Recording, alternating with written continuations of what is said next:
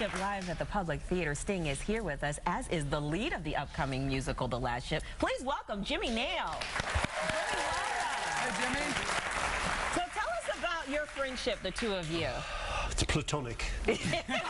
um, well, it goes back, uh, I guess it goes back about 40 years, doesn't it? It does. We're from the same town. Yeah, yeah. So you grew up together? No, j- more or less. no, no, no, no.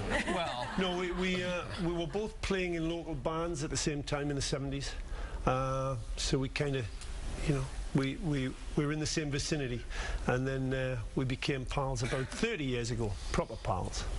And uh, we've been on the last ship together for th- over three years. I would say four. You would, yeah. uh, but it's been fantastic. It's fantastic. It is fantastic. People are saying, Jimmy, that you are Sting's muse. How do you feel about that? I'm coming to terms with it. I've been called many things worse than that, so I'll take news. That's all right. No, it's it's actually. It's a lovely thing. It's a compliment to think if I played a small part in helping him to get this towards where it needs to go, I'm, I'm thrilled. Right. You were telling us an interesting story in the commercial break. The Sting actually does not want you to tell this story, but now I'm super curious as well as our audience. Tell us something about him that we don't know that he won't You tell know, us. you were asking him about being a teacher. Uh, it just tells you something about him as a guy. Um, they did a, a program on UK on the BBC recently where Sting was on, and unbeknownst to Sting, they traced some of his former pupils, and they had, uh, all obviously grown up now. They had a guy on. And they said, Can you tell us about Mr. Sumner, the teacher? and he said, Yeah, I can tell you this that when I was at school, I was very, very poor and I didn't have, my family didn't have the money. Uh, we couldn't afford sneakers, so I couldn't do any um, games or sport. And Mr. Sumner found out. So out of his own pocket, Mr. Sumner bought me some sneakers. wow. So I just thought it says a lot about my pal as a geezer. Yes, your puppy. Nice. See, see, Sting, you thought that was going to be a bad story. It was a very endearing story. It's nice. It's nice to hear that. He had to pay me back eventually, but you know. You're still just trying to collect. now, uh, now, why was Jimmy so important in this process, and, and was he the, one of the first guys that you reached out to? I was the cheapest. as soon as I started writing, the, the, the, the character I was writing about was a, a foreman of the shipyard. They were very tough, upright guys with an amazing sense of dignity. And my friend Jimmy just fit that bill completely, and I, I, I couldn't have done it without him.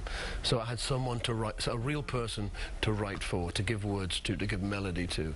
And that was so, so useful. So he's been with me the whole way. He's been my shadow the whole way. Right, and a guy that can relate to the town. I mean, it's Well, I used to be an engineer. I, I, I served an apprenticeship as a welder. Um, I left school at 15 and did four or five years welding.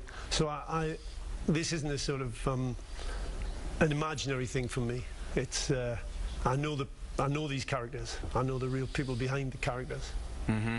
Now, G has been monitoring our Facebook, Yes. and she actually has a message in a yes, bottle. I do. Oh, yeah. Well, it's, see, special. Special delivery today. All right. Oh, okay. Yikes. What do you got? All right. All right, this is from Evie, and she wants to know for Sting, what song has the most meaning for you? The most song in my life or in the show? I think both. Um, I answered this a question like that last night. Um, there's a song called "Dead Man's Boots" where I talk love that about the relationship, a difficult relationship between a father and a son, where a father's love is kind of misconstrued as being controlling and bullying, and where a son's ambition seems pie in the sky, fantasy. So that tension is there, and it was it was part of, of my life. My dad could never quite grasp that I had a real job. of course, I don't. but uh, you know, we never quite resolved tho- those issues, and so it's an important and emotional song for me. And then overall in your career, if you had one that My just- favorite song? I think it's all one song. You know, it's it's one long medley. song, and it's kind of a, a three-dimensional world. I'm feeling a little free, free, set me free. free somebody. Right? You're higher If you than love someone. No, your turn. If you love somebody, Set them free. free, free, set them free. Go to break, Ryan. All right, now the two of them, uh, I think she might be with Sting and Paul Simon tonight. Thank you, Sting, so much, and all the best of luck. Jimmy, pleasure. Make sure you check out The Last Ship when it premieres at the Bank of America Theater on June 10th. We'll be there. We'll be right back.